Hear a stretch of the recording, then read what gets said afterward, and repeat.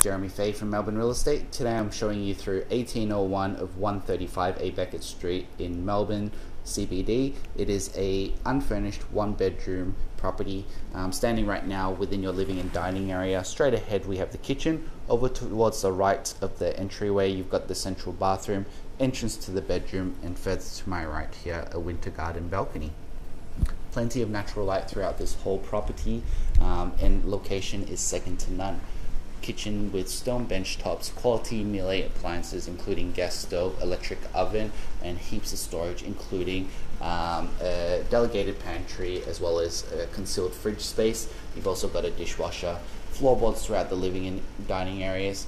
Um, comfortably fits a really large um, couch with chaise, as you can see there.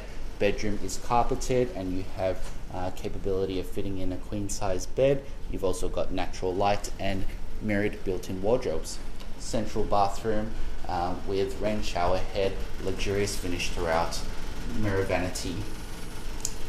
Living at EQ Tower, you're within walking distance to major universities, Melbourne Central, uh, fine eateries all along Elizabeth Street. It's a location that is second to none. If you're interested to inspect, don't forget to register. We look forward to seeing you.